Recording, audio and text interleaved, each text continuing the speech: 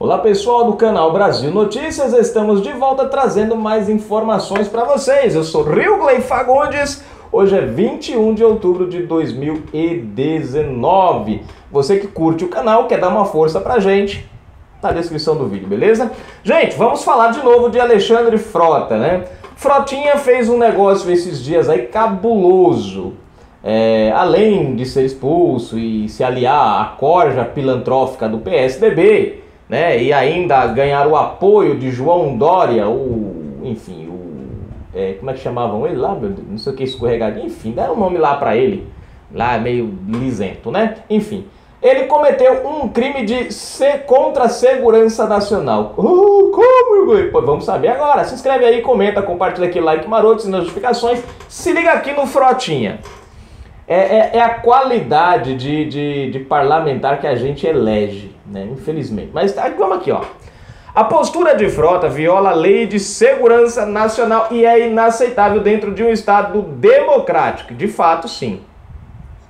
Os erros que nós mesmos cometemos. Deixa eu ver aqui. Aqui, opa, aqui foi mal. Se queremos consertar o nosso país, antes de clamar por heróis, precisamos assumir e tentar reparar os erros que nós mesmos cometemos. E ela fala aqui da questão do votinho. Queremos uma limpeza no Congresso. Pois bem, vamos começar de um por um. Vamos pular aqui a propaganda, que tem a propaganda chata. Então, se queremos dar exemplo, precisamos fazer um meia-culpa e parar de apontar o dedo somente para os adversários. Esse canalha é responsabilidade nossa, e é verdade. Fomos nós, a direita, quem elegemos este traste. O que então estamos esperando para pedir providências contra suas atitudes? Vamos tapar os olhos enquanto um vagabundo que deveria nos representar ameaça provocar o caos? Só recapitulando para vocês, Bolso, o, o, o, Frota já declarou isso, né? É, ele colocou no Twitter dele que está à disposição de quem tiver o interesse de derrubar, de tirar o presidente da República do poder. E ele diz que está aberto ao diálogo para encontrar estratégias para arrancar o presidente. Isso, gente, se chama golpe. Um ataque contra a democracia. Nem o PT foi tão baixo quanto, quanto ele. Bom, onde para aí? Vamos tapar os olhos enquanto um vagabundo que deveria nos representar ameaça provocar o caos deliberadamente para derrubar o presidente em uma vingança pessoal, porque não teve tomar lá da cá. A postura do parlamentar viola a lei de segurança nacional e é inaceitável dentro de um Estado democrático. Ficaremos calados? Para que o mal triunfe, basta que os bons nada façam. Isso é verdade. Burke Edmund. Né? Tá aqui, gente. Olha, nós precisamos. Aqui, deixa eu ver. Aqui, isso. Nós precisamos realmente fazer alguma coisa. O povo precisa sair às ruas e precisamos pedir a cassação. O povo tem que pedir a cassação de Alexandre Frota. Porque a verdade é uma só. Gente, se a gente for esperar que isso seja. Ó, eu vou dizer uma coisa para vocês. Se for, ó, vamos, vamos dar um exemplo aqui. Se fosse hoje Lula ou o presidente da República, isso que Haddad fez, ou Haddad não, o, o Frotinha fez, já estaria na comissão de ética, votado, acertado, canetado, pronto para o plenário, com todos os votos já garantidos, caçá-lo. Agora nós vivemos num, numa época que, infelizmente, Parlamentares, preste atenção, parlamentares se voltam contra o governo e ninguém faz absolutamente nada. Nós vivemos numa época em que pessoas que deveriam defender os direitos dos cidadãos são os mesmos que atacam os cidadãos. Frota é um dos que vestiu uma máscara e agora tenta derrubar o atual presidente. Se a gente parar para, analisar a ação desse cara, quando ele diz que está disposto a sentar e vamos criar uma frente para derrubar o presidente, para arrancar ele do pilado. Gente, isso não é papel de parlamentar. Isso não é atitude de parlamentar. Isso é atitude de golpista, de terrorista, de comunista. Será que Frota é um comunista enrustido? Eu começo a achar que Frota era um comunista enrustido. Se utilizou da. A verdade não é que ele é um comunista, um comunista. Ele é, como é que se diz a palavra?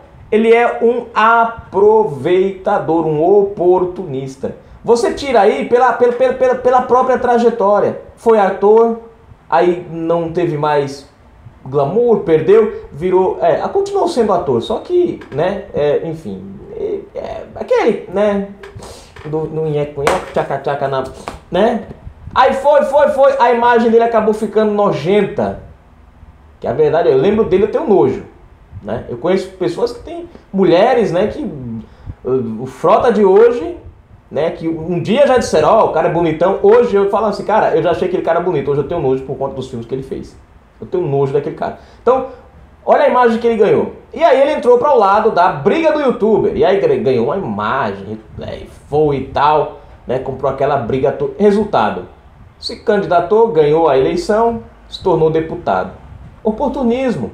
Aquilo que parece estar indo no caminho que lhe dá dinheiro, lhe dá futuro, lhe dá progresso ele vai.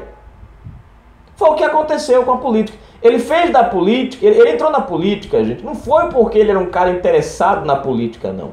Foi o oportunismo. Ele falou, cara, eu tenho muita visualização, eu tenho muitos seguidores, eu estou me dando bem no YouTube, vou me lançar na. E lançou. Só que em tudo, como tudo que ele tem feito sempre acaba num M bem grande, aconteceu a mesma cosita aqui. Alexandre Frota rodou de novo. Porque a verdadeira máscara dele vai aparecendo. A verdadeira máscara dele vai surgindo. Esses dias ele estava bancando uma de moralista, né, criticando aí algumas alguns artistas, né? Porque criticou Bolsonaro. Aí deu uma de moralista, foi falar do que acontecia nos bastidores, de quem pegava quem, não sei o que, tal, lá, lá. Agora o cara tá fazendo a mesma coisa na qual ele criticava. Passou a atacar o atual presidente. Agora, tudo em nome de quê, gente? De um fundo partidário. Porque Bolsonaro não fechou com eles. Eles esperavam que Bolsonaro fizesse, né, valer o que eles Eles pensavam o seguinte: olha, vamos se, vamos, vamos se reeleger, o Bolsonaro vai manter essa, mas pelo menos nós aqui do PSL vamos ter um, um puxadinho. Rodaram, porque nem pro PSL Bolsonaro levou, mandou puxadinho.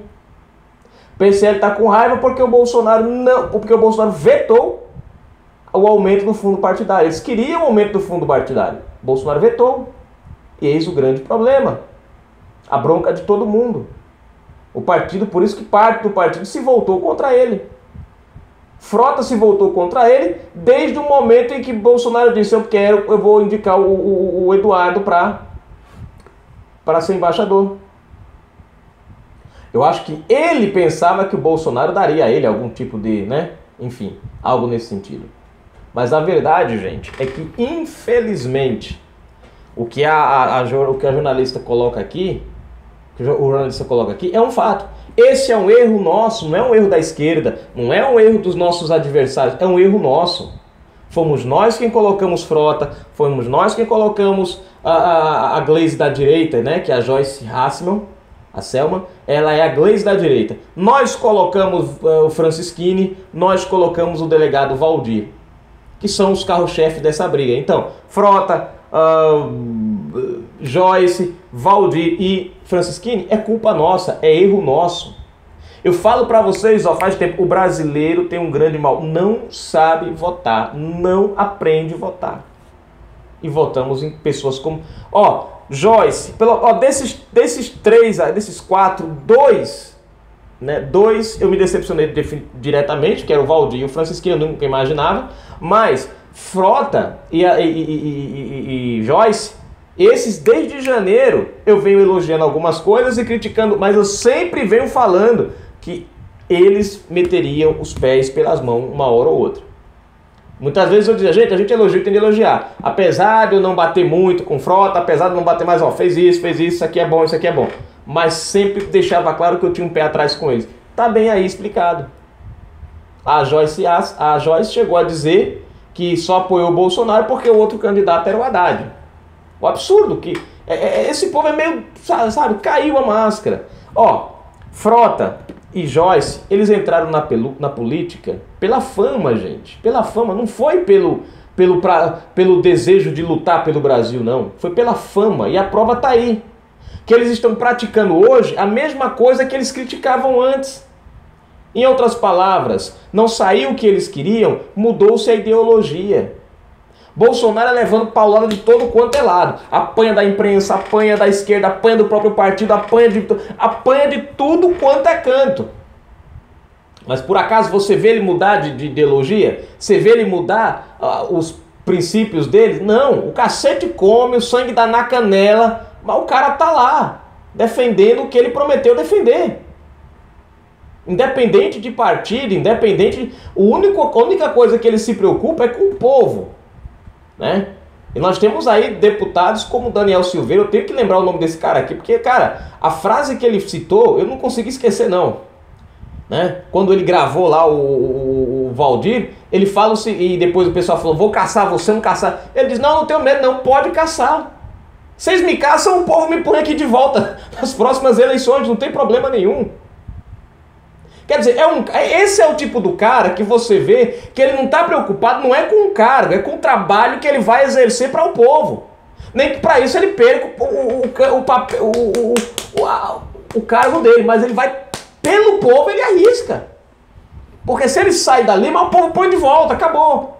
Agora, esses outros não, esses outros querem mandato, estão brigando por um mandato, estão preocupados com o mandato.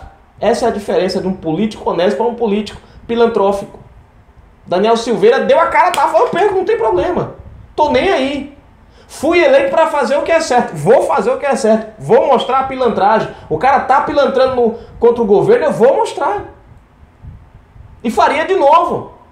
E não tem problema, me botem para fora que o povo me põe para dentro de novo nas próximas eleições. Não tem, né? E, enfim, esse é o candidato que o cara aplaude, rapaz. Você vê que as atitudes dele. Agora você pega um frota que uma hora uma, não sabe se é peixe, se é carne. Agora ele tá lá no PSL. Eu não duvido nada, gente. Se ele arrumar uma encrenca com o PSL, o PSOL ou o PT, você venha pra cá ele não vai. Vai correndo. Vai correndo. Mas tá aí, Canal Brasil Notícias. A gente volta a qualquer momento. Um abraço para vocês. Fui, galerinha.